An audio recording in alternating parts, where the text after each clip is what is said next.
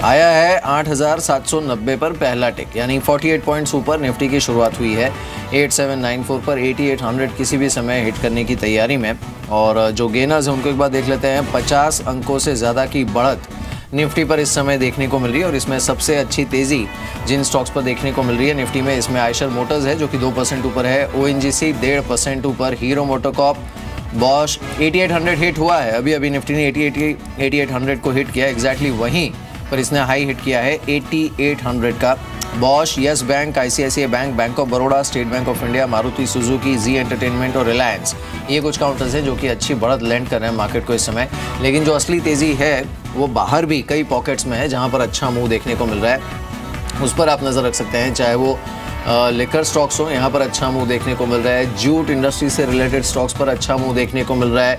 Tyre industry से जुड़े जो शेयर्स हैं, वहाँ पर अच्छा मुँह देखिए लेकर स्टॉक्स आपकी स्क्रीन पर। यहाँ पर अच्छा मुँह देखने को मिल रहा है। जूट के सारे ही स्टॉक्स में काफ़ी अच्छा मुँह देखने को मिल रहा है। तो ये काउंटर्स ऐसे हैं जिस पर आप नज़र रख सकते हैं, लेकिन वॉल्यूम थोड़ा और जनरेट होने दीजिए। टायर स्टॉक्स पर अच्छा मुँह है and there you go M R F पचास हज़ार के पार फिर से एक बार। यहाँ पर करीब डेढ़ परसेंट ऊपर एम आर एफ़ यानी सात सौ छत्तीस रुपये का मुँह यहाँ पर देखने को मिल रहा है। तो बेहतरीन तेज़ी के साथ बाज़ार खुला है इस समय। ओपेक ने जो उत्पादन घटाने का फैसला किया है, इसका सीधा इम्पैक्ट जो एक्सप्लोरेशन स्टॉक्स हैं उन पर देखने को मिल रहा है। Apart from the large oil stocks तो Selan exploration Deep industries global offshore Aban offshore oil country ये सारे काउंटर्स ऐसे हैं जहाँ पर काफ़ी अच्छा मुँह देखने को मिल रहा है और रिलायंस एक परसेंट ऊपर डबल वन ज़ीरो थ्री पर यहाँ पर। तो 8800 का लेवल निफ्टी ने एक बार के लिए तो कम से कम पार किया है। निफ्टी बैंक में अच्छी मजबूती है, करीब सौ अंकों की तेज़ी यहाँ पर देखने को मिल रही है और सेंसेक्स 150 से ज़्यादा पॉइंट्स के उछाल के साथ खुला है। 23 सितंबर के बाद निफ्टी ने पहली बार 8800 का जो लेवल है, उसे आज क्रॉस किया है। चलिए, इस बीच देखते हैं, निफ्टी बैंक क्या कर रहा है? 111 अंकों पर लगभग लगभग आधा परसेंट की तेज़ी यहाँ पर है। और निफ्टी बैंक अगर आप इंग्रेडिएंट्स को देखें, उनका बिहेवियर देखिए, आप तो Canara bank that means short covering हावी हो रही है, याद रखिएगा Canara bank P N B S B I B O B तो पूरा कंट्रीब्यूशन जो है ना, वो सरकारी बैंकों का है, इस 119 अंकों के पुल बैक का। टेस्ट ऑफ़ स्ट्रेंथ होगा, इसका 19 800 के आसपास, क्या है ये अब आइए एक बार मेरी लिस्ट पे आइए। प्रेफर्ड स्टॉक्स की जिनको मैं आज देखना चाहूँगा, उसमें अगर आप देखें टाटा मोटर्स 544 पे लीड करता हुआ ऑटो स्पेस को ये इस वक्त कल याद रखिए टाटा मोटर्स डीवीआर ने 50 डेमा से पुल बैक दिया था। M and M thirteen eighty four पे weak structure within the auto space basket but trying to regain I mean fourteen hundred higher side पे। फिर से डिशमैन फार्मा धीरे धीरे धीरे कैपिटलाइज करता हुआ 240 स्ट्राइक करता हुआ। All time high for all Dishman pharma और विंदो फार्मा आपकी स्क्रीन पर अपनी तेज़ी को और शार्प करता हुआ। और उसके बाद अगर आप देखें, अगर आप यूबी ग्रुप के स्टॉक्स को देखें मैकडोल होल्डिंग यूबी होल्डिंग दोनों स्टॉक लगभग छः और पाँच परसेंट ऊपर, ढाई, पौने दो रुपये का तेज़ी यहाँ पर है। जी एच सी आपकी स्क्रीन पर आप देखें, दो सौ उनसठ के स्तर पे लगभग लगभग चार परसेंट सॉरी चार रुपये तेज़, डेढ़ परसेंट की तेज़ी यहाँ पर है। और आगे बढ़ते हुए अगर आप देखें, कुछ स्टॉक्स को देखें आप। जी के बाद इसमें आप यूबी ग्रुप के स्टॉक्स को देखिए मैकडोल होल्डिंग मैं इसको रिपीट रिपीट नहीं करूँगा। और कुछ स्टॉक्स अभी जरा एक बार मिड कैप के गेनर्स दिखा दीजिए आप। मिड कैप में, देखिए, कल की तेज़ी और कल का पुल बैक जो शुरू हुआ था ना, वो मिड कैप से शुरू हुआ था। ऑल कंट्री आज हमारा टूडे स्ट्रेट था, करीब चौदह परसेंट ऊपर है।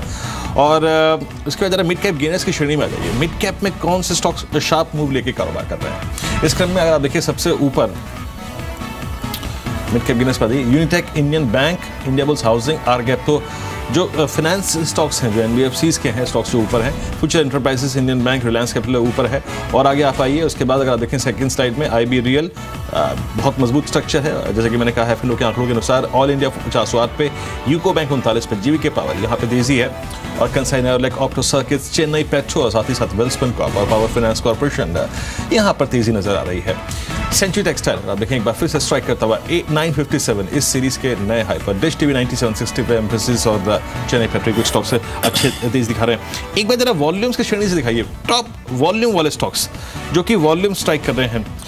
I think 794 Kotak Mahindra bank इसमें शायद मेरे ख्याल से एक ब्लॉक डील है। ब्लॉक डील होनी थी। 16 बड़ी डील्स हुई हैं। तो हाई परसेंट इक्विटी तो ढाई परसेंट इक्विटी जैसे कि मैंने महीने ने ब्यौरा दिया यहाँ पर।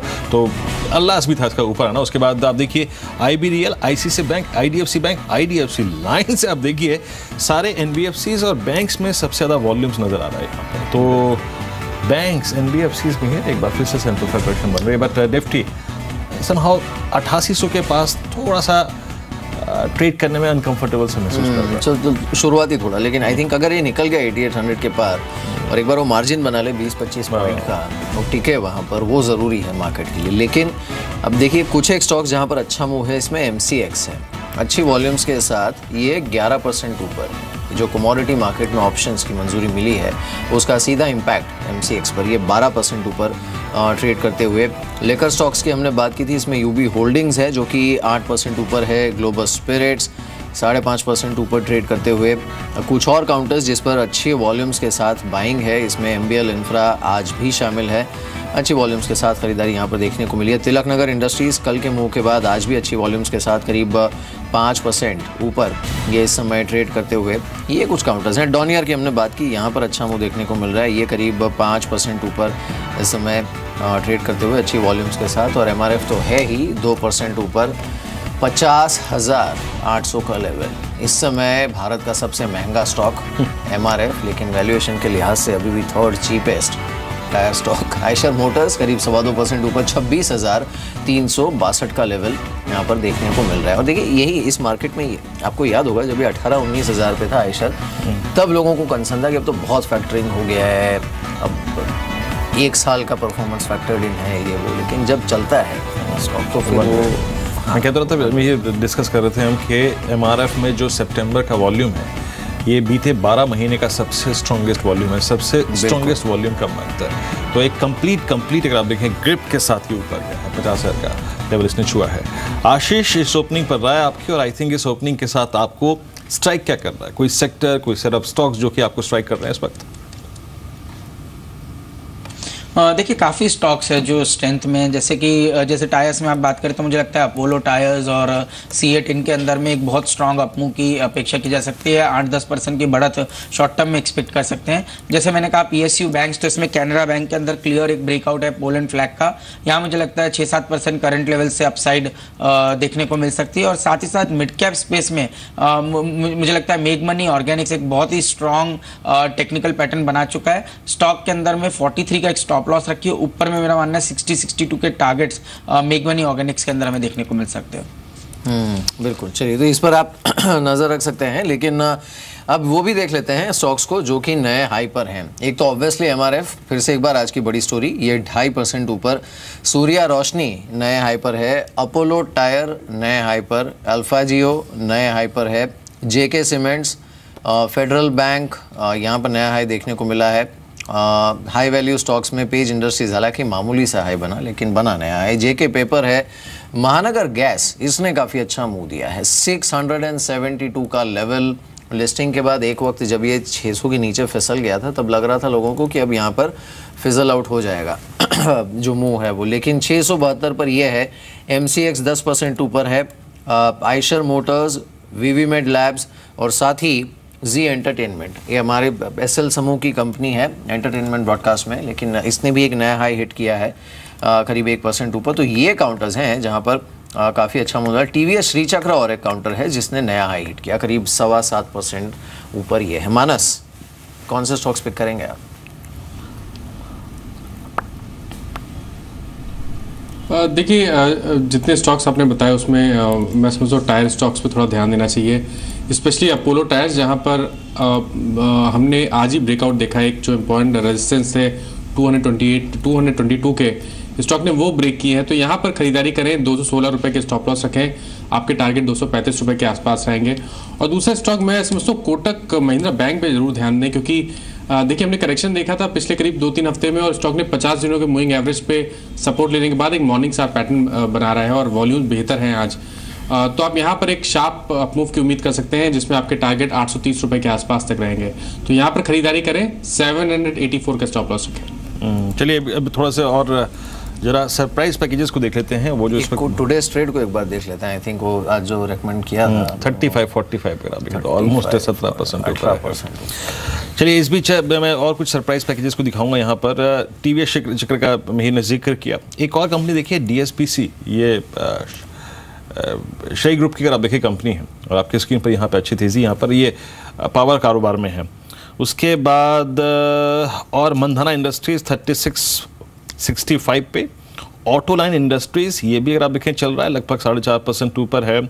और और और अगर आप देखें ऑटो लाइन इंडस्ट्रीज़ के बाद कोई तिलक नगर इंडस्ट्रीज़ 1855 पे, तिलक नगर इंडस्ट्रीज़ 1855 पे।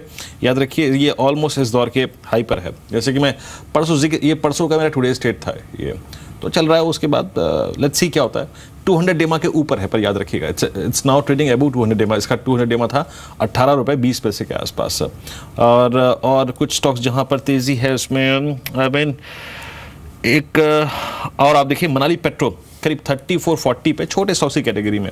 ये भी अगर आप देखें, मनाली पेट्रो का जरा प्लीज़ स्टार्ट फायर करेंगे। एक बार प्लीज़ ज़रा मैं इसको देखना चाहूँगा। इसका वीकली चार्ट दिखाइए प्लीज़ एक बार। आशीष, मनाली पेट्रो 3430 ये बार बार अटेम्प्ट कर रहा है, ये जो स्लोपिंग डाउनवर्ड चैनल जो है ना, वो हल्की सी लगभग लगभग 2015-16 की उसके हाइस को रिविजिट करने की 36 35 36 50 आपको लगता है इसमें एक 36 के ऊपर एक सब्सटेंशियल मूव होगा जी हाँ बिल्कुल वीरेंद्र। देखिए, एक तो बहुत ही स्ट्रॉन्ग ट्रायंगल पैटर्न बना हुआ है और हम देख रहे हैं वॉल्यूम्स अपटिक के अंदर में बढ़ते हुए नज़र आ रहे हैं। तो जैसे 36 37 के लेवल्स क्रॉस होंगे तो एक मेजर ब्रेकआउट होगा जो कि ऑलमोस्ट हम देख रहे हैं एक साल के कंसोलिडेशन के बाद होगा। तो यहाँ पर पे स्ट्रेंथ देखने को मिल सकती है। थर्टी के बाद मेरा मानना है फोर्टी से फिफ्टी तक के टारगेट्स इस स्टॉक के अंदर में देखने को मिल सकते हैं। पर वेट कीजिए, एक थर्टी का ब्रेकआउट होने दीजिए और उसके बाद ही लॉन्ग पोजिशन इसमें बनेंगे। इस बीच चलिए, कुछ और स्टॉक्स को देख लेते हैं, जहाँ पर अच्छे संकेत इस समय देखने को मिल रहे हैं। आज ओवरऑल रुझान अच्छा है मार्केट में और टुडेज ट्रेड एक बार नज़र डाल देते हैं इस पर।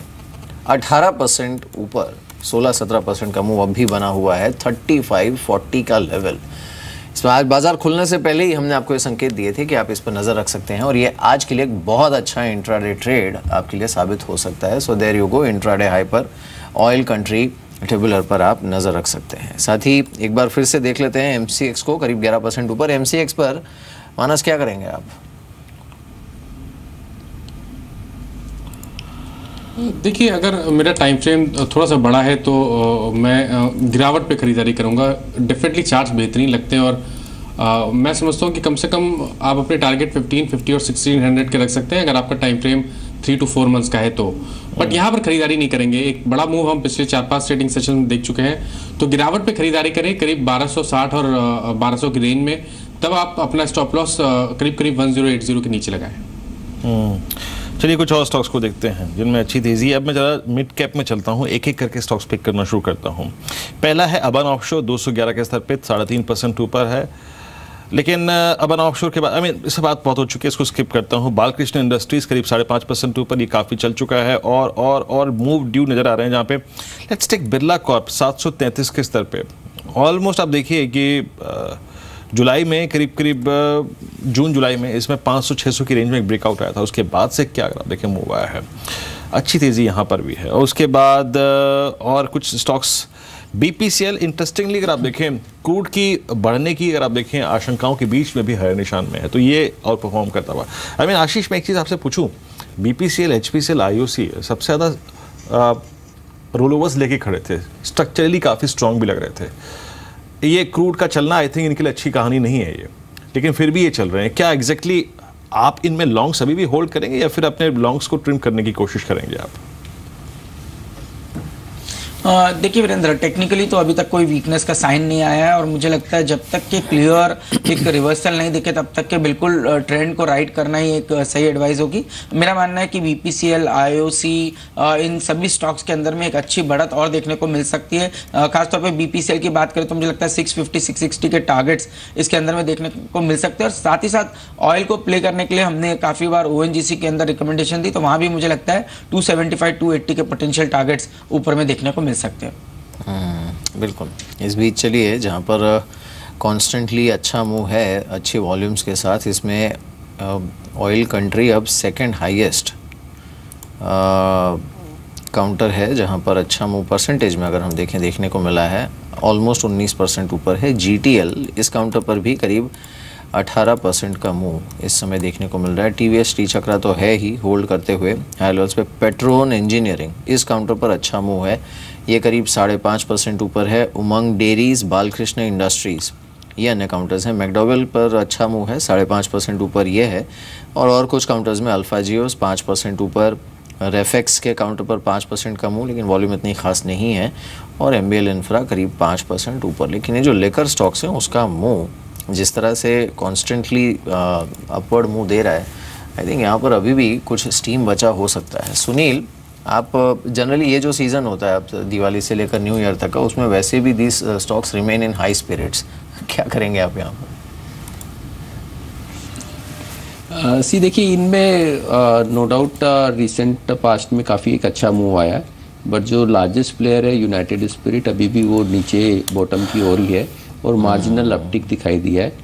अगर किसी को लॉन्ग टर्म इन्वेस्ट करना हो विथ वन ईयर व्यू तो मुझे लगता है कि यूनाइटेड स्पिरिट के प्राइसेस अभी काफ़ी अट्रैक्टिव लेवल पे यहाँ से down side risk is limited where is upside जैसे वॉल्यूम रिवाइवल हमें दिखाई देगा अच्छा उसके हिसाब से ये वो स्टॉक्स में परफॉर्मेंस आने लगेगी। तो यूनाइटेड स्पिरिट अगर एक साल के व्यू के लिए लेना चाहे तो इस इस स्टॉक को खरीदा जा सकता हाँ, इस बीच आप देखिए आईआरबी इंफ्रा ये अगर आप देखें स्ट्राइक करता हुआ इस दौर का। सुनील, बहुत बहुत शुक्रिया, आप इस कार्यक्रम में शामिल हुए। सभी स्टॉक्स को इंडस्ट्रीज़ पर आ रहा आपने।